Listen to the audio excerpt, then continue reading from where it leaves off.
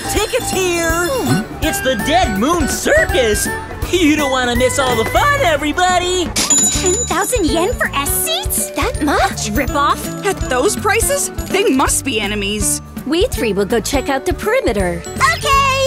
So many fun things to do! Hold your horses, we're not here to have fun! Mamo-chan, can we please ride the go-karts? I want to ride too! Lucille, we're not here to play, remember? This is a bit disappointing. To be honest, I'm not sure it was worth bringing Phobos and Deimos. Let's patrol and see what we can spot. Sounds great! Yes, I spot an ice cream stand! Minako-chan, that's not what I meant! But I spotted it! So where were you thinking of going? I think I'll watch who's coming and going at the main gate. Great, I'll circle back to you later. Hmm, you really liked it, huh? Yeah! In that case, I'll ride with you this time. Funny. Haven't been somewhere like this in a while. It feels nice. That's what the circus is all about, silly. Mirror House?